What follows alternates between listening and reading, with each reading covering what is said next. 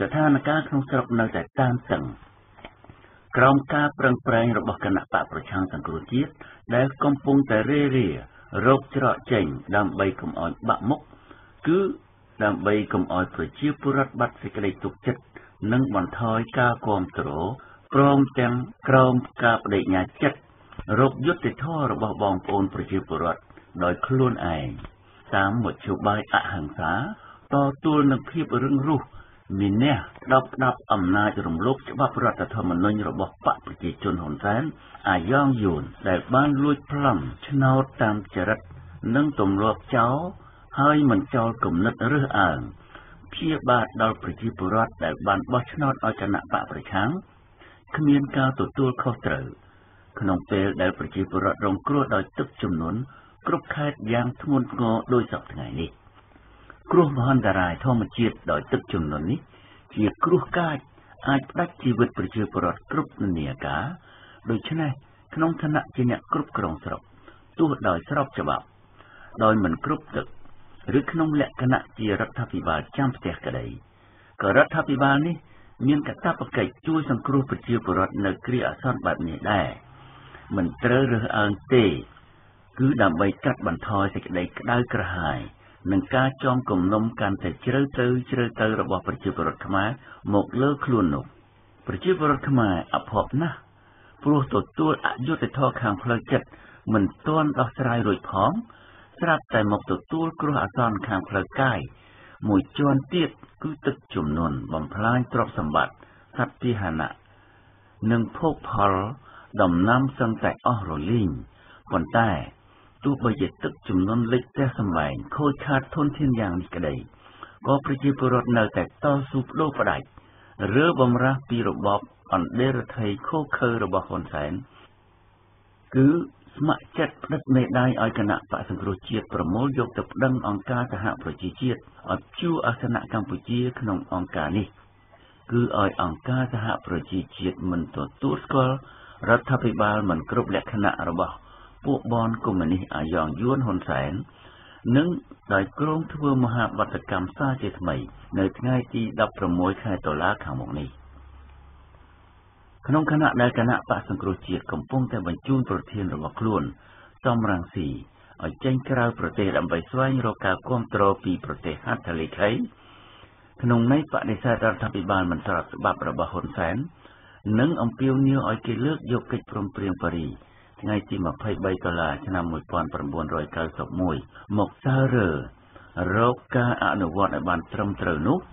ពួកអាយ៉ងនៅភ្នំពេញនៅតែបន្តយកស្ដេចធួជាសម្ពាធនិងកងប្រដាប់អាវុធបិទច្រកចេញចូលក្រុងគៀបប្រជាពលរដ្ឋមិនអោយមានលទ្ធភាពមកចូលរួមធ្វើមហាបាតកម្មដូចមុនដដែលប៉ុន្តែ ពួកនេះមិនអាចខាត់ខាំងប្រជាពលរដ្ឋដែលភៀសខ្លួន ពីទឹកជំនន់ឲ្យសម្រុកចូលមកក្រុងបានឡើយគួររំលឹកថាពួកអាយ៉ងបានដាក់សម្ពាធលើប្រជាពលរដ្ឋអស់រយៈជិត30ឆ្នាំមកហើយ ហើយក៏នៅតែបន្តសម្ពាធនេះ តាមមធ្យោបាយហិង្សាដដែល ដោយសន្យាខ្យល់រហូត ដើម្បីរងាប់ទឹកចិត្តក្តៅក្រហាយរបស់ប្រជាពលរដ្ឋខ្មែរប្រជាពលរដ្ឋខ្មែរដែលជាអ្នកត្រូវពួកអាយ៉ងគ្រប់គ្រង ក៏មានសម្ពាធរបស់ខ្លួនទប់ទល់នឹងសម្ពាធរបស់ពួកចោរនេះដែរគឺការឈប់ស្ដាប់បញ្ជារបស់ពួកអាយ៉ងការអនុលោមតាមច្បាប់ឬក្រិតក្រមរបស់ពួកនេះ ការតស៊ូមតិការធ្វើកុបកម្មការធ្វើបាតកម្មពេញផ្ទៃប្រទេស និងការអូសទាញសហគមន៍អន្តរជាតិឲ្យធ្វើអន្តរកម្មក្នុងរឿងខ្មែរពលគឺ សម្ពាធក្នុងស្រុកក៏យើងមាន សម្ពាធពីបរទេសក៏យើងមានដោយយោងតាមកិច្ចព្រមព្រៀងប៉ារីជាចាំបាច់ជាពិសេសគឺកម្លាំងសាមគ្គីរបស់យើងជាអ្នករងគ្រោះដោយអំពើជិះជាន់រំលោភគ្រប់បែបយ៉ាង គឺសាមគ្គីរវាងកម្មករភ្នាក់ងាររាជការកងប្រដាប់អាវុធកសិករយុវជន ស្ត្រីមេផ្ទះពាណិជ្ជករ ព្រះសង្ឃទាំងចាស់ទាំងក្មេងគ្រប់និន្នាការនេះហើយ ដែលជាសម្ពាធដ៏ស័ក្តិសិទ្ធិធ្វើឲ្យរលំរលាយអំណាចផ្ដាច់ការយំខ្នងរបស់បនហ៊ុនសែនបានកម្លាំងនេះត្រូវនៅក្នុងជួរបដិវត្តមួយដ៏មានអង្គការឬជាក្រុមប្រឹក្សាជាតិអន្តរកាលគ្រប់គ្រងនិងអនុវត្តយុទ្ធសាស្ត្រយុទ្ធវិធីនានាគម្រោងនានាឲ្យបានសម្រេចជោគជ័យ កម្លាំងនេះមិនមែនជាកម្លាំងដែលចាំតែផ្ដេចផ្ដួលខ្លួនឬគណៈបកណាមួយនោះឡើយប៉ុន្តែជាកម្លាំងជាតិជាកម្លាំងរើបំរាស់ចេញពីនឹមអាណានិគមនិយមយួនឈ្លានពានពីរបបផ្ដាច់ការអន្តរថៃដែលកំពុងតែធ្វើឲ្យជាតិលិចលង់ជ្រៅទៅជ្រៅទៅនេះឯងបដិវត្តការឈូកជាបដិវត្តដែលយើងទាំងអស់គ្នាជាខ្មែរមានកាតព្វកិច្ចត្រូវធ្វើដើម្បីឈោងយកប្រជាធិបតេយ្យ មកគ្រប់គ្រងប្រទេសជាតិរបស់យើងឱកាសនេះ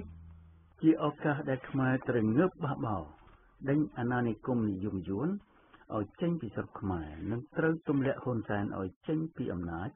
ដើម្បីឯករាជ្យសេរីភាពនិងលទ្ធិប្រជាធិបតេយ្យហើយ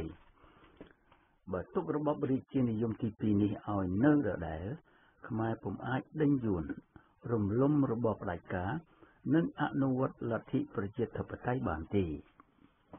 ខ្មែរត្រូវធ្វើបដិវត្តការឈូកតាមសម្ពាធពីរយ៉ាង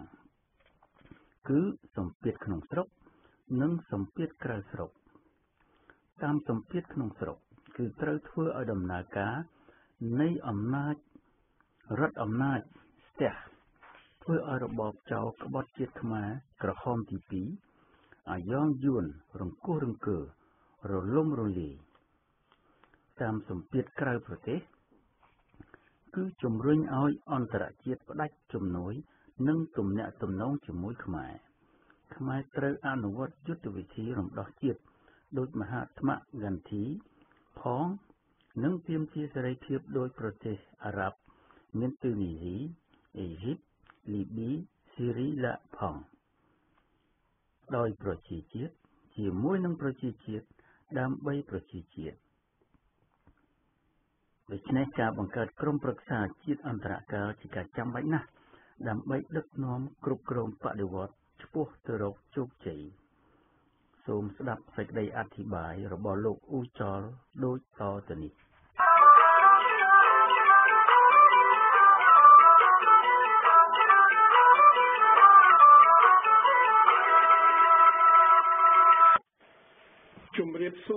បងប្អូនជនរួមជាតិដែលស្ដាប់វិទ្យុបដិវត្តការឈូកទាំងក្នុងស្រុកទាំងក្រៅស្រុក21ឆ្នាំហើយក្រោយពីថ្ងៃ23ដុល្លារនៃកិច្ចព្រមព្រៀងសន្តិភាពក្នុងទីក្រុងប៉ារីឆ្នាំ1991ស្ដីពីប្រទេសកម្ពុជា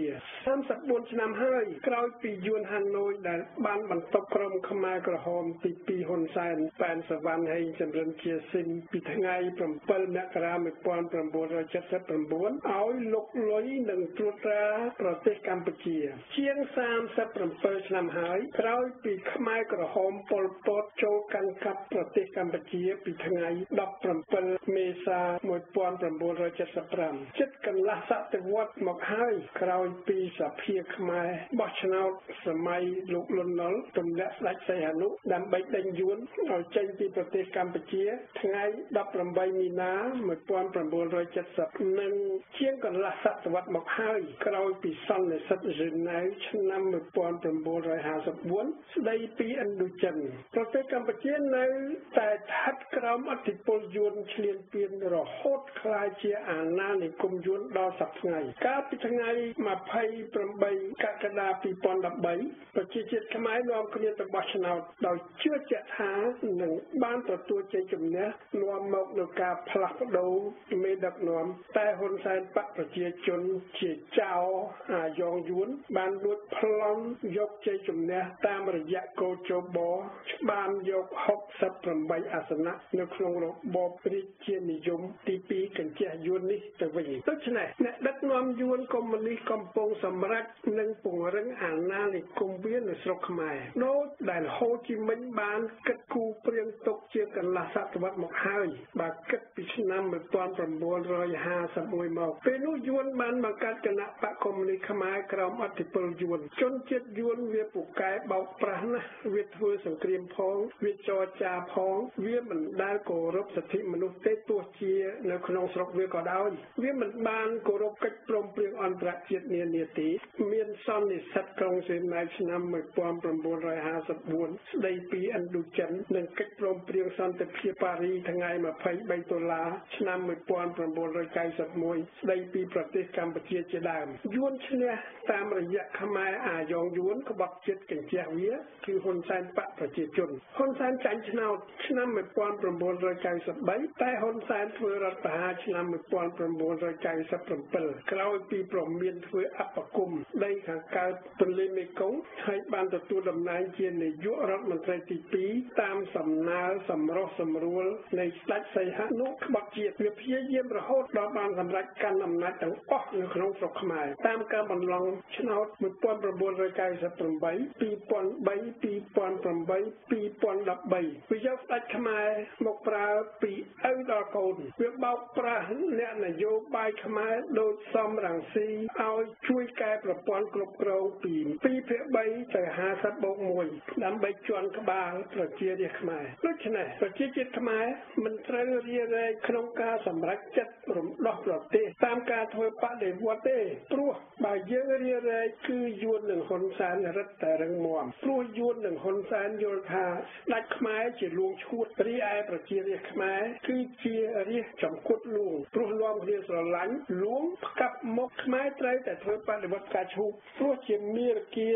និងសច្ចធម៌ដើម្បីឈ្នះនៅសតវត្សទី21នេះសប្តាហ៍ប្រជាជាតិខ្មែរដើរមកដល់ដំណាក់កាលទី2នៃបដិវត្តការឈូកហើយគឺត្រូវនាំគ្នារើបំរាស់ជាដាច់ខាតមិនត្រូវខូចក្រោយទេ សំណួរតើប្រជាជាតិខ្មែរត្រូវគ្រប់គ្រងបដិវត្តនេះយ៉ាងដូចម្ដេចជាបន្តតើត្រូវធ្វើយ៉ាងម៉េចទៀតដើម្បីលេបប្រទេសខ្មែរយួនវាប្រើល្បិចកលយួនវាប្រើខន្តីវាប្រើស្រីយួនវាប្រើប្រុសយួនវាប្រើកំភ្លើងវាសម្លាប់វាប្រើគ្រប់វិធីក្តៅត្រជាក់ដាក់ថ្នាំបំពុលនៅក្នុងសាសនាវាគឺសាសនាកៅដាយវាបានបញ្ចូលប្រពុតឡៅសើ Confucius Marx Lenin Pasteur លាពលគឺវាយកគ្រឿងក្រៅផ្សេងផ្សេងមកផ្សំដូចគ្រឿងសម្លកកូរដូច្នេះដំបងខ្មែរត្រូវតែសម្រេចចិត្តរំដោះប្រទេសទោះម្នាក់ឯងក៏ដោយ ជាក្រុមក៏ដោយបន្ទាប់ត្រូវតែត្រេះរិះពិចារណារិះរកវិធីរំដោះពលគឺដើម្បីបំផ្លាញសត្រូវ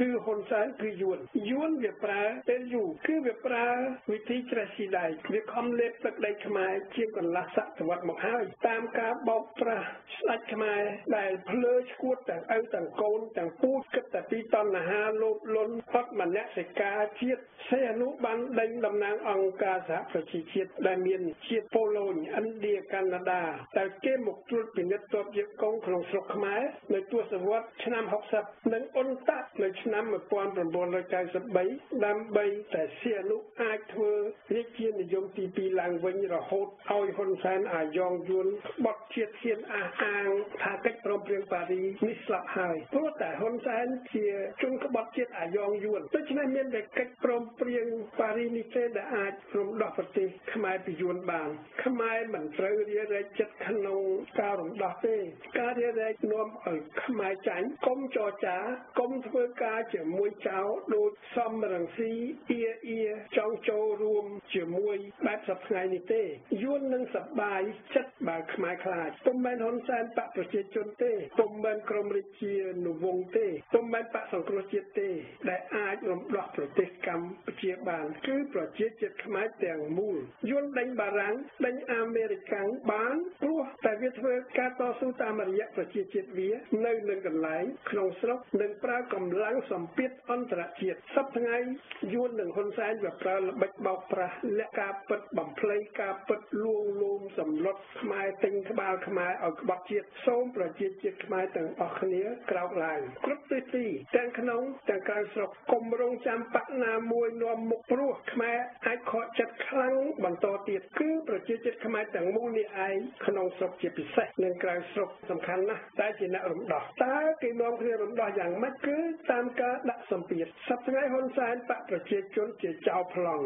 អំណាចម្ចាស់អំណាចគឺប្រជាជាតិខ្មែរនេះទេប្រជាជាតិខ្មែរត្រូវទៀមទាយកអំណាចនេះមកវិញនេះជាគោលការណ៍នៃការរំដោះយើងត្រូវរំដោះតាមការដាក់សម្ពាធដោយអហិង្សាគឺសម្ពាធក្នុងស្រុកផងគឺសម្ពាធក្រៅស្រុកផងក្នុងស្រុកខ្មែរត្រូវបំផ្លាញប្រយោជន៍សត្រូវនិងប្រយោជន៍អាយ៉ងយួនអាយ៉ងចិនកុំឲ្យវារស់ស្រួលដឹកនាំស្រុកខ្មែរបានស្រួលខ្មែរឈប់គោរពបញ្ជាវាឈប់ស្ដាប់វាកុំឲ្យវាមានចិត្តស្ងប់រស់សប្បាយលើទុកនៃប្រជាជាតិខ្មែរបាន ក្រៅស្រុកតាមការដាក់សម្ពាធពីអន្តរជាតិនៅសហរដ្ឋអាមេរិកនៅអឺរ៉ុបបង្ខំឲ្យហ៊ុនសែនចោលប្លន់ចោះចេញពីអំណាចព្រោះជាក្រុមចោលប្លន់យកអំណាចខ្មែរតាមសម្ពាធអង្គការក្រៅរដ្ឋាភិបាលអន្តរជាតិនានាធ្វើឲ្យយួនចិននិងហ៊ុនសែនបកប្រជាជនឯកកោតៅតោលអស់លទ្ធភាពគ្រប់គ្រងប្រទេសខ្មែរលោកលិចវ៉ាលេហ្សាជាកម្មករសាងសង់នាវាសញ្ជាតិប៉ូឡូញ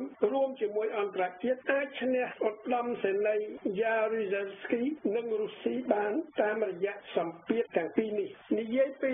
សេចក្តីសម្រេចនៃសមាជថ្ងៃ6ដុល្លារ2013បើយើងមើលសេចក្តីសម្រេចនេះជាជំរឿយើងយល់ថាវានៅតែជាសេចក្តីសម្រេចចិត្តព្រារែកឆោតល្ងងសុំក្រលុំនៅឡើយព្រោះយើងឃើញចំណុចខ្លះល្អចំណុចខ្លះទុនជ្រាយព្រោះគ្មានយន្តការអនុវត្តឲ្យមានប្រសិទ្ធភាពទេព្រោះជាការអង្វរកចោលចំណុចល្អដូចជាសូមទាមទារឲ្យប្រទេសហត្ថលេខីជំរុញឲ្យអនុវត្តកិច្ចព្រមព្រៀងប៉ារីថ្ងៃ23ដុល្លារ1991ឲ្យបានពេញលេញព្រោះទាមទាររកយុទ្ធធម៌នៃសัญลักษณ์ឆ្នោតសម្រាប់ប្រជាជាតិខ្មែរចំណុចទុនជ្រាយមានន័យថាចាញ់បោកបកប្រជាជនហ៊ុនសែនព្រោះជារបបចោលដែលកំពុងបន្តការគ្រប់គ្រងហើយបកប្រឆាំងសូមចរចាជាមួយចោលព្រោះបកសង្គ្រោះជាតិកំពុងស៊ីសន្ទូចដូចត្រីហើយមាត់នឹងជាប់សន្ទូចជាដា ច់ខាតហើយនឹងត្រូវស្លាប់ហ៊ុនសែននឹងយួននឹងយកត្រីនេះទៅអាំងទៅឆាឬទៅស្លនៅពេលខាងមុខបានអ្នកតំណាងរាជបកប្រឆាំងចូលទៅធ្វើការក្នុងសភាចោលពលគឺគេនឹងត្រូវតែដើរតាមអ្វីៗដែលហ៊ុនសែនដែលយួនចង់បាន គឺប្រជាជាតិខ្មែរនឹងស្លាប់ព្រោះជាក់ស្ដែងគេនៅតែទុករបបចោលនេះឲ្យគ្រប់គ្រងលើប្រជាជាតិខ្មែរដដែលគេពុំអាចកែប្រែរបបនេះបានទេព្រោះគណៈកម្មការចម្រុះព្រំប្រទល់នៅបន្តដដែលតលយៈភាពអំណាចឥតមានប្រសិទ្ធភាពឥតប្រយោជន៍ស្ថាប័នឯករាជ្យមានតែឈ្មោះសូមឲ្យគណៈបកប្រជាជនផ្ដល់អាជ្ញាបានទួលទួលាក់ឲ្យបកប្រឆាំងគឺគ្រាន់តែជាសំណើអស់សង្ឃឹមសូមឲ្យបញ្ឈប់ការផ្ដល់ដីសម្បទានឬពិនិត្យសម្បទានដីសេដ្ឋកិច្ចនានាឡើងវិញឈប់កាប់ព្រៃឈើឈប់ដេញអ្នកស្រុកឈប់ដកដីធ្លីគឺគ្រាន់តែជាសម្លេងប្រដោតឆ្អែតតែពុកក្របីដូច្នេះដើម្បីប្រយោជន៍ប្រទេសដើម្បីប្រយោជន៍ប្រជាជាតិដើម្បីលទ្ធិប្រជាធិបតេយ្យព្រោះខ្មែរកំពុងរងគ្រោះជាតិខ្មែរកំពុងស្លាប់ពលរដ្ឋកំពុងរស់ក្រោមអំពើផ្ដាច់ការជាងកន្លះសតវត្សមកហើយដូច្នេះបដិវត្តការឈូកសូមអំពាវនាវឲ្យប្រជាជាតិធ្វើមហាបដកម្មនានាក្នុងបំណង3យ៉ាង1មហាបដកម្មទាមទារទម្លាក់ហ៊ុនសែនដើម្បីសេរីភាពព្រោះហ៊ុនសែនជានាយករដ្ឋមន្ត្រីចៅលួចសន្លឹកឆ្នោតសហរដ្ឋអាមេរិកអឺរ៉ុបគេអត់ទទួលស្គាល់រដ្ឋាភិបាលហ៊ុនសែននៅឡើយទេប្រជាជាតិខ្មែរពុំទទួលស្គាល់ទេព្រោះជាការបោះឆ្នោតខ្វះដំណាភាព2មហាបដកម្មទាមទារឲ្យយួនចេញពីស្រុកខ្មែរឥតឈប់ឥតឆោដើម្បីឯករាជ្យប្រទេសកម្ពុជាសូមឲ្យប្រជាជាតិនិងអន្តរជាតិជួយដឹងឮនិងចាត់វិធានការស្របតាមច្បាប់អន្តរជាតិដែលមាននៅអង្គការសហប្រជាជាតិស្របតាមច្បាប់សិទ្ធិមនុស្សឡា3មហាបដកម្មសូមបោះឆ្នោតឡើងវិញក្រោមការត្រួតពិនិត្យនៃក្រមប្រឹក្សាជាតិអន្តរការដើម្បីលទ្ធិប្រជាធិបតេយ្យពិតពិត ព្រោះប្រទេសកម្ពុជា ជារដ្ឋអធម្មនុញ្ញតាំងពីខែមិថុនា1913មកពេលដែលបកប្រជាជនដេញតំណាងរាស្ត្របកប្រឆាំង28រូបបង្កកប្រាក់ខែនិងដេញចេញពីសភាគោលបំណងនៃបដិវត្តការឈូកគឺដណ្ដើមឯករាជ្យពីយួនរំលំទម្លាក់របបហ៊ុនសែនខ្មែរក្រហមកុម្មុយនីសបើអស់យួនអស់ហ៊ុនសែនអស់រាជបល្ល័ង្កដោយឯកឯងរួចហើយតាក់តែងលទ្ធិប្រជាធិបតេយ្យតាមរដ្ឋធម្មនុញ្ញថ្មី ដើម្បីកសាងអភិវឌ្ឍសុភមង្គលប្រជាជាតិខ្មែរកំណត់សម្គាល់រំដោះប្រទេសនៅក្នុងសតវត្សទី21នេះខុសពីការរំដោះប្រទេសក្នុងសតវត្សទី20ដែលគេប្រើកំភ្លើងសប្តាហ៍ថ្ងៃគេប្រើអន្តរបណ្ដាញអ៊ីនធឺណិត YouTube Facebook Twitter YouTube ដែលយកលំនាំតាមប្រទេសអារ៉ាប់នានាដូចនីស៊ីលីប៊ីយកលំនាំតាមមហាថ្មគុន្ធីដែលគឺបំផ្លាញប្រយោជន៍សត្រូវបំផ្លាញប្រយោជន៍អអាយ៉ងបំផ្លាញប្រយោជន៍ប្រទេសអាណានិគមដោយហិង្សាគឺយួនចិនកត្តាជ័យជំនះគឺបរទេសនានាជួយដាក់សម្ពាធនៅស្រុកយួនបារាំងនិងសហរដ្ឋអាមេរិកដកទ័ពចេញក៏ព្រោះតែមានសម្ពាធអន្តរជាតិតាមសម្ពាធខ្មែរក្នុងស្រុកទៅលើប្រជាជនយួនចិនទៅលើទំនិញយួនចិនលើប្រយោជន៍អាយ៉ងយួនតាមរយៈជនរងគ្រោះអ្នករដ្ឋការទៅលើក្រុមក្បត់កុម្មុយនីសយួនសម្ពាធខ្មែរ ក្នុងស្រុកគឺមានកម្លាំងធំធេងណាស់បូកនឹងសម្ពាធខ្មែរក្រៅស្រុកដើម្បីជួយបដិវត្តឲ្យបានជោគជ័យគោលដៅគឺធ្វើឲ្យសត្រូវខូចខាតប្រយោជន៍គឺសត្រូវយួនឧទាហរណ៍ឈប់ប្រើ សហគ្រាស Medphone ដែលសប្តាហ៍ថ្ងៃមានខ្មែរជាអតិថិជនចំនួន20000នាក់ដែលប្រុងឈប់ប្រើសេវា Medphone ត្រូវដកយកដីសម្បទានពីប្រជាជនយួនដកសម្បទានអង្គរដកសម្បទានដីរ៉ែ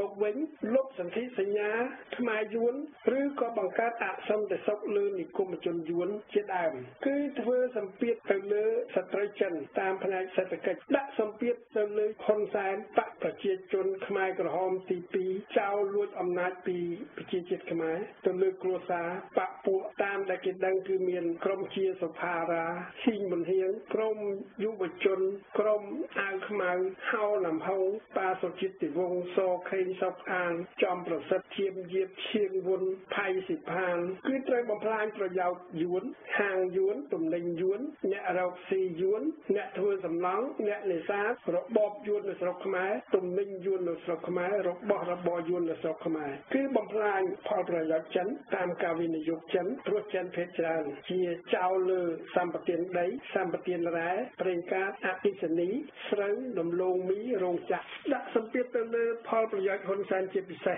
រំលាយអង្គរៈហ៊ុនសែនមុខរបបបពួកម៉ាហ្វ្យាហ៊ុនសែនកងទ័ពត្រូវឈប់សហប្រតិបត្តិការការពារហ៊ុនសែនបំផ្លាញការងារនៃគណៈរដ្ឋមន្ត្រីចៅដែលមានចំនួនជិត1000នាក់នេះមិនទាន់គិតពីទីប្រឹក្សានានាផងបំផ្លាញប្រយោជន៍បកប្រឆាំងផងដែរបើសិនជាសំរងស៊ីកែនសខាចូលជាបកសុំក្រលុំក្បត់ជាតិចូលរួមចរចាធ្វើការជាមួយសភាចៅរ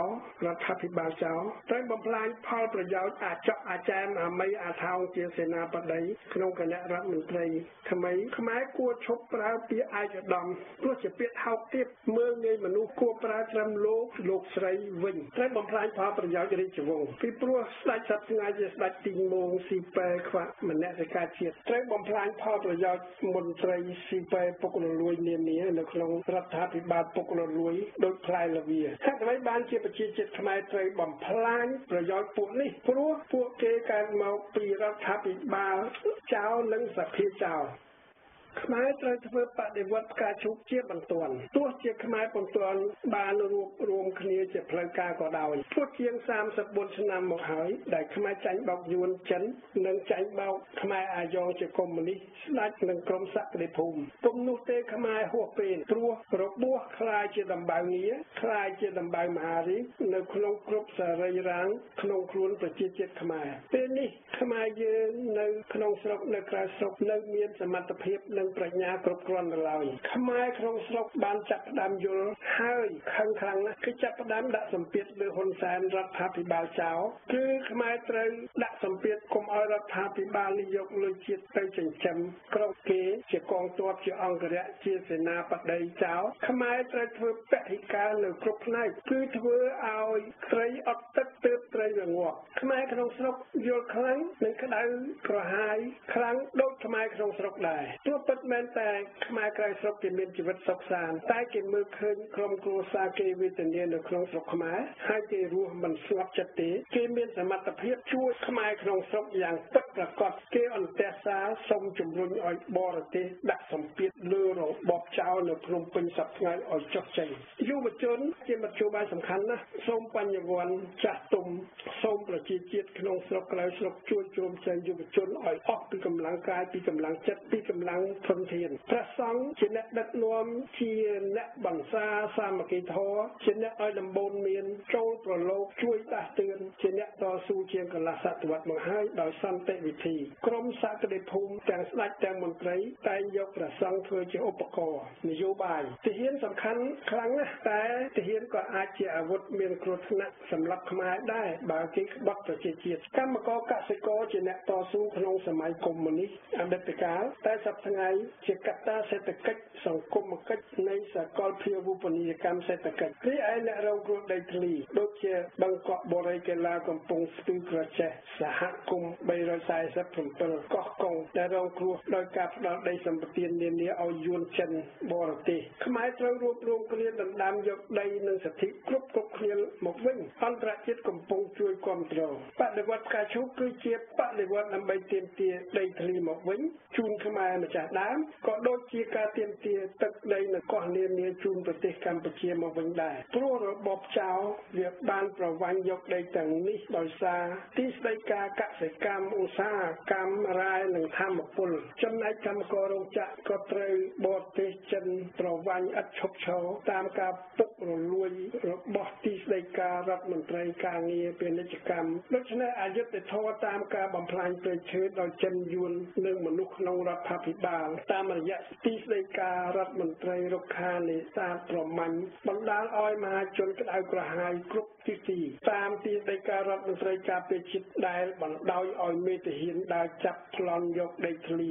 ដែលអ្នកស្រុកបានកាប់ឆ្ការរួចមកហើយគឺជារបបចោលតាមរយៈទីដីការដ្ឋមន្ត្រីចោលនានាប្រជាជាតិខ្មែរពុំអាចទុកឲ្យក្រុមចោលក្បត់ជាតិរួចអំណាចគ្រប់គ្រងប្រទេសខ្មែរបន្តទៀតទេដូច្នេះអ្នកដែលត្រូវធ្វើបដិវត្តគឺប្រជាជាតិខ្មែរដែលរងគ្រោះនេះឯងព្រោះមានអ្នករងគ្រោះច្រើនសន្ធឹកសន្ធាប់ណាស់ដូចជាកសិករបាត់ដីធ្លីអត់ទីផ្សារបឹងកក់បូរីកីឡាសហគមន៍347ខេត្តក្រចេះខេត្តកំពង់ស្ពឺកោះកុងកម្មករដែលត្រូវគេចម្រាញ់លើបដិកម្មញើសឈាមគឺធ្វើការហើយចិញ្ចឹមខ្លួនឯងម្នាក់មិនទាំងរស់ផងអាជីវករដែលគ្មានទីផ្សារដែលខ្សោយចំណូលព្រោះរះក្រទៅក្រទៅហើយរស់នៅក្រោមអំណាចជនផ្ដាច់ការនីទុនផ្ដាច់មុខអ្នករដ្ឋការមិនអាចរស់ទេព្រោះប្រាក់ខែតិចអត់អាចបម្រើសេវាសាធារណៈតាមសតិសម្បញ្ញៈបានទេដូចជាគ្រូបង្រៀនអត់គុណភាពព្រោះគាត់ត្រូវឆ្លៀតធ្វើការពី3កន្លែងផ្សេងទៀតដើម្បីរស់អត់ពេលបង្រៀនសិស្សឲ្យបានមកចប់គ្រូត្រូវធ្វើបដកម្មខ្លាំងក្លាដើម្បីទាមទារប្រាក់បៀវត្សឲ្យបាន1លានរៀលបើពុំនោះទេគ្រូត្រូវតែបង្រៀនតែពាក់កណ្ដាលពេលត្រូវតែធ្វើកោតកម្មចំណែកសាស្ត្រាចារ្យគេមិនអាចរស់បានទេព្រោះប្រាក់ខែតិចណាស់ក្រោយពីពេលសិក្សាដ៏យូរលង់មកគេបញ្ចប់សិក្សាគេមានបៀវត្សពុំអាចចិញ្ចឹមគ្រួសារបានផងរីឯយុវជនតែតោលព្រោះពុំអាចមានអនាគតពុំអាចកសាងគ្រួសារព្រោះអត់ការងារបើទាំងអស់គ្នារួមគ្នាធ្វើបដិវត្តទាំងអស់គ្នានឹងមានសន្តិសុខព្រោះខ្មែរទាំងអស់មានគោលដៅតែមួយហើយយើងនឹងឆាប់បានទទួលជ័យជំនះបើទទួលជ័យជំនះឆាប់ជាការល្អពលគឺធ្វើឲ្យរដ្ឋការរដ្ឋាភិបាលចោលហ៊ុនសែនរាំងស្ទះស្លាប់ឆាប់ឆាប់គឺធ្វើឲ្យបរទេសដាច់ទំនាក់ទំនងនឹងជំនួយបានឆាប់កុំទុកយូរនាំឲ្យមានផលអាក្រក់ធ្ងន់ធ្ងរលើអនាគតកូនខ្មែរដូច្នេះត្រូវធ្វើបដិវត្តឲ្យខ្លាំងក្លាឆាប់បានជ័យជំនះដេញយួនឲ្យបានឆាប់ទើបមានពេលកសាងស្រុកទេលើមូលដ្ឋានថ្មីអ្នកដែលខ្មែរត្រូវបំផ្លាញក្នុងបដិវត្តគឺអាណានិគមយួននៅស្រុកខ្មែរដែលមានយួនជាទាហានយួនជានិគមជនយួនជាអ្នករដ្ឋការលាក់ខ្លួនជាស៊ីវិលជាភ្នាក់ងារសម្ងាត់ ប្រកបរបរនានាមានចំនួនឡាគឺចិនជាខ្មាំងដែលគិតតែកេងប្រវ័ញ្ចខ្មែរមិនគោរពច្បាប់ខ្មែរបង្កើតតែបំពើពុករលួយដូច្នេះរដ្ឋខ្មែរអត់មានលុយបើកបេវត្តឲ្យខ្មែរនៅរដ្ឋការទេព្រោះតែអំពើពុករលួយនេះតែរដ្ឋខ្មែរគេមានលុយទៅទិញកំភ្លើងដើម្បីបង្ក្រាបប្រជាជាតិខ្មែរដូច្នេះចិនជាវិឆេតកោសេដ្ឋកិច្ចជាអ្នករកស៊ីកម្ចីឲ្យហ៊ុនសែនភាកច្រើនសម្រាប់តែសងការបំណុលចិនរីឯស្ដេចគឺជាក្រុមអត់មនសិការជាតិរងចាំតែប្រថាប់ត្រាឲ្យបាក់ហ៊ុនសែនបំរើយួនសំរស់ដូចជ្រូកអត់អាចជួយប្រជាជាតិខ្មែរបានទេជាឆ្លើងជញ្ជក់ឈាមខ្មែរក្រុមហ៊ុនសែនក្បត់ជាតិកុម្មុយនីអាយ៉ងយួនចិនម៉ាហ្វ្យាមានយួនជាអតីតហ៊ានសប្ថ្ងៃខ្លះធ្វើជាចំនួនបពពួកវាច្រើនណាស់វាលាក់ខ្លួនក្នុងដីសម្បត្តិរាប់សែនហិកតា ខ្មែរស្គាល់ឈ្មោះខ្លះខ្មែរមិនស្គាល់ខ្លះដូច្នេះក្រុមនេះហើយដែលប្រជាជាតិខ្មែរត្រូវបំផ្លាខ្មែរត្រូវបំផ្លាញក្រុមបកសុំក្រលំក្បត់ជាតិព្រោះនាំឲ្យខាតពេលព្រោះខ្មែរខ្លះខ្លួនខ្មែរតែក្បាលយួនមានជំហរត្រេកត្រោឃ្លីងឃ្លោងចាំចាប់ត្រីស៊ីដូចកុកមិនហ៊ាននិយាយប៉ះពាល់ស្ដេចទេមិនហ៊ានប៉ះពាល់ហ៊ុនសែនចិនយួនទេនិយាយការពារតែក្រុមគេឲ្យតែរួចពីមាត់ភូតផោកុហកការពារខ្មាំងបោកប្រាស់ប្រជាភិផុតគិតតែបោកប្រាស់យកអំណាចពីរាជដើម្បីកៅអីដូច្នេះគេអាចคลายជាជុងក្ បត់បដិវត្តកងទ័ពខ្លះក៏មានគំនិតក្បត់ដែរតែតបខ្លះជាកូនទាហានអ្នកស្នេហាជាតិមិនមែនជាទាហានចេញមកពីគ្រួសារអភិជនទេប៉ូលីសក៏មានក្រុមក្បត់ជាតិដែរតែខ្លះក៏ស្នេហាជាតិខ្មែរត្រូវប្រយ័ត្នប៉ូលីសទាហានដែលជាក្រុមភ្នាក់ងារសម្ងាត់របស់យួននិយាយពីសម្ពាធនានាក្នុងស្រុកគឺជាកម្លាំងមានទម្ងន់ទូលំទូលាយធំធេងណាស់ខ្មែរត្រូវដាក់សម្ពាធទោះជាដំបងរប៉ាត់រប៉ាយតូចធំយ៉ាងណាក៏ដោយយូរយូរទៅសម្ពាធអាចរីកធំដុះដាលខ្លាំងឡើងខ្លាំងឡើងពីសំណាក់អ្នករដ្ឋការក្តៅក្រហាយតាមការទៀមទាដំឡើងបៀវត្តជាបាតកម្មឲ្យធំធេងឆាប់បានជ័យជំនះតាមអាជីវករដែលអត់អាចរស់បានព្រោះជំពាក់លុយធនាគារជាបន្តរហូតច្រើនទៅច្រើនទៅ តាមរយៈកម្មករដែលអត់រស់បានព្រោះវាវត្តតិចតាមកសិករដែលកាន់តែក្រទៅក្រទៅព្រោះគេយកដីធ្វើជាសម្បទានឲ្យនៃទុនចិនយួនតាមរយៈឧស្សាហករដែលអត់អនាគតព្រោះខ្វះជំនួយរដ្ឋអត់ទីផ្សារហើយត្រូវអ្នករដ្ឋការជំរិតយកលុយខ្មែរក្រៅស្រុកទួតទៅមួម៉ៅខឹងជាយូរយារណាស់មកហើយខ្មែរក្រៅស្រុកអត់ដែលមានសិទ្ធិបោះឆ្នោតទេ បានបោះឆ្នោតម្ដងកាលពីឆ្នាំ1993តែគេនាំគ្នាផ្ញើលុយទៅឲ្យគ្រួសាររស់នៅក្នុងស្រុកច្រើនសន្ធឹកសន្ធាប់រីឯខ្មែរមេពុករលួយក្នុងស្រុកវិញគេផ្ញើលុយមកទុកនៅបរទេសព្រោះសង្ឃឹមយកមករស់នៅពេលរត់ចេញពីស្រុកខ្មែរគេដាក់លុយនៅសិង្ហបុរីនៅហុងកុងនៅអូស្ត្រាលីនៅសហរដ្ឋអាមេរិកនៅតៃវ៉ាន់នៅអឺរ៉ុបប្រជាជាតិខ្មែរត្រូវតែទុកប្រកាសប្រជាជនជាសត្រូវខ្មែរត្រូវតែប្រញាប់រំលំរបបហ៊ុនសែនខ្មែរក្រហមនេះជាដាច់ខាតព្រោះជាអាយ៉ងដែលយួនវាបន្ទប់តាំងពីថ្ងៃ7មករា1979មកចាញ់ឆ្នោតឆ្នាំ1993តែបានគ្រប់គ្រងនិងបន្តដោយប្រមានធ្វើអបគុំហើយបានគ្រប់គ្រងប្រទេសខ្មែរមកទៀតដោយរដ្ឋប្រហារ1997បន្ទាប់តាមការបន្លំឆ្នោតតាមរយៈកោជបឆ្នាំ1998ដែលមានសម្លាប់ខ្មែរអស់ជាច្រើន តាមការបន្លំឆ្នោត2003 2008 2013តាមការលួចប្លន់តាមរយៈកោចបហើយយកស្ថាប័នស្ដេចស្ថាប័នក្រមប្រឹក្សាធម្មនុញ្ញធ្វើជាធម្មនុញ្ញប្រហារឬក៏រដ្ឋប្រហារបែបធម្មនុញ្ញបង្កើតសភាចៅរដ្ឋាភិបាលចៅដើម្បីធ្វើជានាយករដ្ឋមន្ត្រីចៅរួមសេចក្តីគឺគេមើលងាយនឹងក្បត់ប្រជាជាតិខ្មែរដូច្នេះប្រជាជាតិខ្មែរត្រូវតែងើបបះបោធ្វើបដិវត្តការឈូសព្រោះដើម្បីប្រជាជាតិនិងជាមួយប្រជាជាតិគឺប្រជាជាតិខ្មែរទាំងអស់ជាស្នូលនៃបដិវត្តមិនត្រូវឲ្យបកប្រជាជនហ៊ុនសែនខ្មែរក្រហមទី2នេះបំផ្លាញទ្រព្យសម្បត្តិខ្មែរយកធ្វើជាប្រយោជន៍ផ្ទាល់ខ្លួននិងបំរើប្រយោជន៍ចិនយួននោះទេនិយាយពីសហរដ្ឋអាមេរិកគេបានប្រំទាហ៊ុនសែនជាអក្រិតជនជាអក្រិតជនសង្គ្រាមជាអក្រិតជនប្រឆាំងមនុស្សជាតិតាំងពីឆ្នាំ1998មកម្លេះដោយយោងតាមប្រវត្តិរបស់ហ៊ុនសែនតាំងពីឆ្នាំ1978មកគឺតាមសេចក្តីសម្រេចព្រឹទ្ធសភាលេខ309ឆ្នាំ1998តាមរយៈលោក McConnell លោក Hen សេចក្តីសម្រេចសភាលេខ163ថ្មីថ្មីនេះឆ្នាំ2013គឺសហរដ្ឋអាមេរិកព្រមមានអត់ទទួលស្គាល់ការបោះឆ្នោត28កក្កដា2013នេះទេព្រោះគេយល់ថាជាការបោះឆ្នោតឥតមានលទ្ធិប្រជាធិបតេយ្យនិយាយពីសេចក្តីសម្រេច310ថ្មីថ្មីនេះថ្ងៃ19កក្កដា2013ដែលមានលោក Steve Chabot Rebecca Messer Holding Perry ជាអ្នកស្នើដាក់ជូនទៅគណៈកម្មការបរទេសអាមេរិកគេមិនមែនដាក់បង្កើតច្បាប់នេះដោយស្រម៉ៅស្រមៃនោះទេព្រោះគេយកតាមស្ថិតិ US ពីឆ្នាំ1993ដល់2011សហរដ្ឋអាមេរិកបានជួយនៅក្នុងសេដ្ឋកិច្ចនិងទាហានអស់ប្រាក់ចំនួន1247លានដុល្លារក៏ប៉ុន្តែផ្ទុយទៅវិញនៅឆ្នាំ2013តាម UNDP គេនិយាយថាកម្រិតអភិវឌ្ឍមនុស្សគឺខ្មែរមានឋានៈស្មើដូចលាវគឺលេខ138នៅក្នុងប្រទេស187តាមអង្គការដំឡាភិបឆ្នាំ2012គេចាត់ថ្នាក់ប្រទេសកម្ពុជាលេខ157ក្នុងចំណោមប្រទេស174គឺនៅក្រោមប្រទេសយេម៉ែនអង់ហ្គូឡានិងតាជីគីស្តានទៅទៀតអង្គការដំឡាភិបនេះគឺសម្ដៅពីកម្រិតការពុករលួយតាមអង្គការ Freedom House ឆ្នាំ2013ខ្មែរគ្មានប្រជាធិបតេយ្យក្នុងការបោះឆ្នោតទេតាមទីស្តីការការបរទេសអាមេរិកគេនិយាយថានៅស្រុកខ្មែរគ្មានការគោរពសិទ្ធិមនុស្សទេគ្មានយុត្តិធម៌ទេ នៅឆ្នាំ2012 Human Rights Watch និយាយថានៅស្រុកខ្មែរគ្មានការគោរពសិទ្ធិមនុស្សមានការពុករលួយតុលាការក្រោមសម្ពាធនយោបាយកាសែត New York Times នៅឆ្នាំ2013គេនិយាយថាហ៊ុនសែនកាន់ស្រុកខ្មែរចំនួន10000ថ្ងៃមកហើយដោយការសម្លុតដោយការត្រួតត្រាកងសន្តិសុខនិងដោយបរទេសជួយគ្រប់គ្រងដូច្នេះហ៊ុនសែនក្រាញក្នុងអំណាចរហូតទៅដល់អាយុ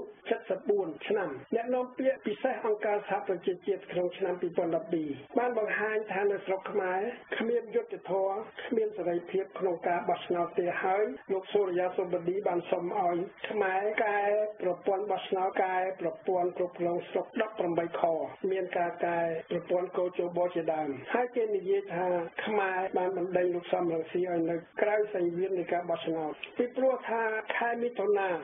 2013ខ្មែរដកសិទ្ធិតំណាងរាស្ត្របកប្រឆាំងចំនួន28នាក់ឲ្យអស់ប្រាក់ខែដូច្នេះតាំងពីថ្ងៃនោះមកប្រទេសកម្ពុជាជារបបជារដ្ឋអធម្មនុញ្ញអ្វីអ្វីមកដល់ថ្ងៃនេះក៏នៅតែជារដ្ឋអធម្មនុញ្ញដដែលពិតមែនជាជារដ្ឋអធម្មនុញ្ញរដ្ឋសភាខ្មែរបានធ្វើច្បាប់ដាក់ទោសអ្នកណាដែលមិនទទួលស្គាល់ថាមានរបបខ្មែរក្រហមខ្មែរនាំគ្នាធ្វើមហាបាតកម្មប្រឆាំងកែមសុខាតាមការបង្គាប់បញ្ជាពីលោកហ៊ុនសែនដូច្នេះសហរដ្ឋអាមេរិកបានស្នើឲ្យអង្គការនានាមាន USS ជាដើមថាសូមកុំឲ្យទទួលស្គាល់និងជួយប្រទេសកម្ពុជាទោះជាក្នុងប៉ូលីសក៏ដោយទាហានក៏ដោយឬកិច្ចការដទៃទៀតក៏ដោយពីព្រោះនៅស្រុកខ្មែរគ្មានការគោរពការបញ្ចេញមតិនៃប្រជាពលរដ្ឋទេដូច្នេះច្បាប់លេខ310នេះគឺ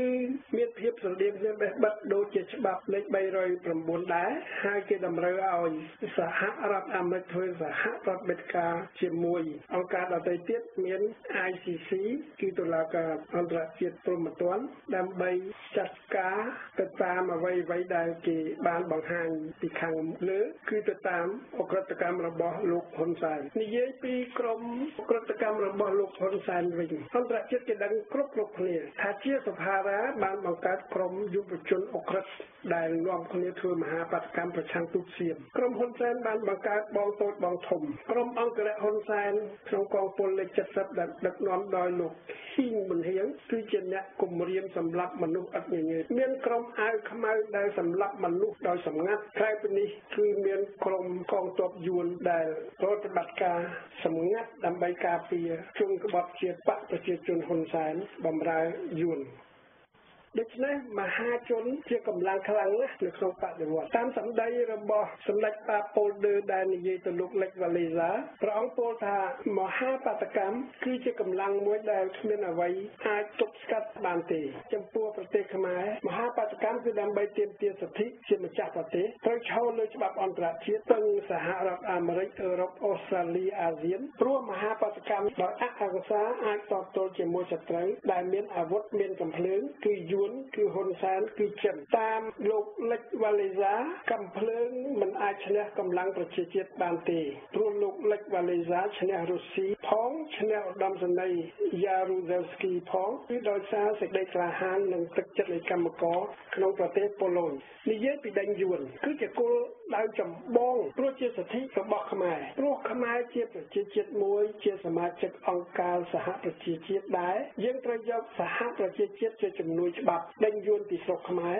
ឬអាចដេញយួនឲ្យចេញពីអង្គការសហប្រជាជាតិផងក៏បានដែរដោយដេញហ៊ុនសែនឲ្យចេញពីអំណាចជាការសម្រួលបដិវត្តនៅក្នុងស្រុកខ្មែរខ្មែរត្រូវដាក់សម្ពាធឲ្យអន្តរជាតិនានាផ្ដាច់ជំនួយជាមួយយួនក្នុងស្រុកខ្មែរត្រូវផ្ដាច់ទូតជាមួយយួនផ្ដាច់ចំណូលពាណិជ្ជកម្មដើម្បីបំផ្លាញពាណិជ្ជកម្មយួនបំផ្លាញប្រយោជន៍ទេសចរយួននៅក្នុងស្រុកខ្មែរលក្ខទីហោតាមរយៈទេសចរអង្គរដែលមានសុគងជាម្ចាស់សម្រាប់បំរើយួនខ្មែរត្រូវបំផ្លាញប្រយោជន៍យួនតាមរយៈដីសម្បត្តិឲ្យយួនដេញនិគមជនយួនក្នុងដីសម្បត្តិជាដើមតាមការដាក់សម្ពាធតាមរយៈអង្គការក្រៅរដ្ឋាភិបាលនានាផ្សាយឲ្យអន្តរជាតិដឹងតាមអង្គការ Global Witness ព្រោះអង្គការនេះតាមដានការកាប់ព្រៃឈើការបំផ្លាញព្រៃឈើតាមដានគ្រួសារហ៊ុនសែនហើយគ្រួសារហ៊ុនសែនស្អប់អង្គការ Global Witness នេះណាព្រោះតាម Global Witness ថាគ្រួសារហ៊ុនសែនជាគ្រួសារបំផ្លាញព្រៃឈើដែលនៅក្នុងនោះមានទ្រីភាពលាក់តាមអង្គការតម្លាភាពដែលគេរកឃើញអំពើពុករលួយយកលុយទៅទុកនៅធនាគារសិង្ហបុរីហុងកុងតៃវ៉ាន់អឺរ៉ុបអូស្ត្រាលីលាក់តាមអង្គការលើកលែងទោសអន្តរជាតិ Amnesty International ព្រោះនៅស្រុកខ្មែរមានមនុស្សជាប់ពន្ធនាគារព្រោះតែសម្ពាធនយោបាយដូចជាអ្នកស្រីយមបុប្ផាជាដើមតាម USA ដែលខាងលើអំបញ្ញមិញខ្ញុំនិយាយពីសហរដ្ឋអាមេរិកសូមកុំឲ្យអង្គការនានានៃសហរដ្ឋអាមេរិកជួយប្រទេសខ្មែរបើសិនណាជាប្រទេសនេះមិនមានការកែសម្រួលខាងសិទ្ធិមនុស្សនិងសិទ្ធិប្រជាធិបតេយ្យដូច្នេះខ្មែរត្រូវតែដេញហ៊ុនសែនកុំឲ្យហ៊ុនសែនដឹកនាំស្រុកបានពីឆ្នាំ2013នេះទៅកុំឲ្យសភាចោលរដ្ឋាភិបាលចោលរដ្ឋអំណាចចោលមានដំណើរបានស្រួលព្រោះគឺជាក្រុមចោលលួចសន្លឹកឆ្នោតនៃប្រជាជាតិព្រោះដើម្បីទ្រព្យសម្បត្តិគ្រួសារគេតែប៉ុណ្ណោះដើម្បីអំណាចក្រុមបកពួកគេក្រុមពុករលួយក្រុមបំរើយួនចិនគឺជាស្រុកអនិតិរដ្ឋហើយសូមកុំឲ្យបរទេសមានទំនាក់ទំនងទូតពាណិជ្ជកម្មជាមួយគឺសូមឲ្យអង្គការសហប្រជាជាតិព្យួរសមាជិកភាពបណ្ដោះអាសន្ននៃប្រទេសកម្ពុជាសូមឲ្យសហរដ្ឋអាមេរិកផ្ដាច់ជំនួយសូមឲ្យអឺរ៉ុបជាដើមផ្ដាច់ទូតនិងផ្ដាច់ជំនួយបើខ្មែរបានឯករាជ្យហើយគឺយើងបានធ្វើដំណើរទៅមុខបានលឿនដើម្បីប្រយោជន៍ខ្មែរទាំងអស់គ្នាគឺយើងធ្វើយ៉ាងណាកុំឲ្យហ៊ុនសែនទទួលបានអំណាចគ្រប់គ្រងបន្តធ្វើជាអាយ៉ងយួនបានធ្វើជានាយករដ្ឋមន្ត្រីចៅបានត្រូវធ្វើឲ្យអំណាចរដ្ឋហ៊ុនសែនរលំរលាយពុំសតទេគឺប្រទេសយើងនិងប្រជាជាតិខ្មែរយើងដែលរលំរលាយពីផែនទីពិភពលោកបើខ្មែរបញ្ចប់អាណត្តិហ៊ុនសែនបានគឺខ្មែរបញ្ចប់អាណានិគមយួនបានបញ្ចប់អំពើផ្ដាច់ការបានបញ្ចប់អនិច្ចរដ្ឋបានហើយប្រជាជាតិខ្មែរនឹងបានទទួលលទ្ធិប្រជាធិបតេយ្យតែប្រយ័ត្នចាញ់បោកស្រីងៀតឆ្លៀតពងគឺបកសង្គ្រោះចោលឬក្រមសក្តិភូមិពីព្រោះសំរងស៊ីកែមសខាបកសង្គ្រោះចោលនិយាយហើយនិយាយទៀតថាគេពុំធ្វើបដិវត្តទេគឺគេធ្វើការកែតម្រង់គេនៅតែការពារស្ដេចដូច្នេះការពារហ៊ុនសែនដូច្នេះការពារយួនការពារចិនគេនាំគ្នាធ្វើឲ្យខ្មែរខាត់ពេលបន្តគេអាចនាំឲ្យបដិវត្តដើរខុសផ្លូវខុសទិសដៅធ្លាក់ទឹកហើយសត្រូវអាចសម្លាប់អ្នកស្នេហាជាតិពិតពិតបានបកសង្គ្រោះជាតិអាចនាំឲ្យអ្នកបដិវត្តស្លាប់ក្រោមកំភ្លើងយួនចិនហ៊ុនសែនស្ដេចសក្តិភូមិដោយនាំឲ្យប្រជាជាតិខ្មែរចាញ់របាយកលបរទេសនិងខ្មែរសក្តិភូមិហើយអាចនាំឲ្យខ្មែរស្នេហាជាតិបំភ្លេចគោលដៅធំធំបានសប្តាហ៍ថ្ងៃក្រុមក្បត់ជាតិនិងក្រុមសក្តិភូមិតែងតែមានគោលដៅចរចាជាច្រើនលាយជាមួយគោលដៅល្អល្អសំខាន់សំខាន់តែបើចរចាគឺសំរងស៊ីចាញ់យួនចាញ់ហ៊ុនសែននិងនាំឲ្យប្រទេសខ្មែរនិងប្រជាជាតិខ្មែរចាញ់ជាមួយខ្មែរត្រូវប្រយ័ត្នបើទុកចិត្តលើបកសង្គ្រោះជាតិខ្លាំងពេកគឺអាចនាំឲ្យបដិវត្តដើរមិនដល់គោលដៅអាចឲ្យប្រជាជាតិស្លាប់ច្រើនអាចឲ្យប្រជាជាតិអស់សង្ឃឹមរីរែកចិត្តព្រោះគេនាំគ្នាពន្យាពេលរំដោះជាតិទុកឲ្យហ៊ុនសែនមានលទ្ធភាពបន្តអំណាចដដែលគឺខ្មែរស្លាប់តែបើខ្មែរដេញហ៊ុនសែនបានគឺខ្មែររស់និយាយពីក្រមប្រឹក្សាជាតិអន្តរកាលគឺជាមធ្យោបាយចាំបាច់ណាស់មានភារៈធំធេងណាស់អាចបង្រួបបង្រួមគ្នាឲ្យទូលំទូលាយកុំប្រកាន់បពពួកជៀសវាងកុំឲ្យសត្រូវរស់ងើបមកវិញបានត្រូវតែបង្កើតឲ្យបានជាដាច់ខាតដើម្បីដឹកនាំបដិវត្តដើម្បីជាតំណាងប្រជាជាតិខ្មែរដែលរងគ្រោះនិងដើម្បីទាមទារឲ្យអន្តរជាតិទទួលស្គាល់ជាផ្លូវការដើម្បីដេញយួនដេញហ៊ុនសែនមិនចាំបាច់ពឹងលើបកសង្គ្រោះជាតិកែមសុខានិងសំរងស៊ីជាជនសុំក្រលុំនោះទេព្រោះសត្រូវអាចចេញមកពីគ្រប់ទិសទីបើទោះជាក្រុមប្រឹក្សាជាតិអន្តរកាលនេះពុំទាន់កើតជាផ្លូវការក៏ដោយក៏ខ្មែរអ្នកស្នេហាជាតិអាចនាំគ្នាបន្តប្រតិបត្តិការនានាឲ្យបានជោគជ័យដែរកុំរងចាំឆ្នាំងវែងអន្ទង់វែងដូច្នេះគោលដៅបដិវត្តការឈូកគឺខ្លីគឺអនុវត្តលទ្ធិប្រជាធិបតេយ្យទៅអនាគតគឺគោរពច្បាប់អន្តរជាតិគោរពសិទ្ធិមនុស្សតាមសេចក្តីថ្លែងការណ៍ជាសកល គឺទាមទារឯករាជ្យកម្ពុជាឲ្យបានជាបឋមពីយួនពីចិនសិនដើម្បីរស់ក្នុងអាស៊ានដើម្បីប្រជាជាតិអាស៊ានគឺក្នុងនោះមានប្រជាជាតិយួនផងដែររស់នៅក្នុងអង្គការសហប្រជាជាតិគោរពកិច្ចព្រមព្រៀងប៉ារីសថ្ងៃ23តុលា1991ឲ្យបានពេញលេញឬរបបថ្មីមួយតាមការបោះប្រជាមតិមានទំនាក់ទំនងជាមួយសហរដ្ឋអាមេរិកអឺរ៉ុបអូស្ត្រាលីចិនអ្វីដែលមាន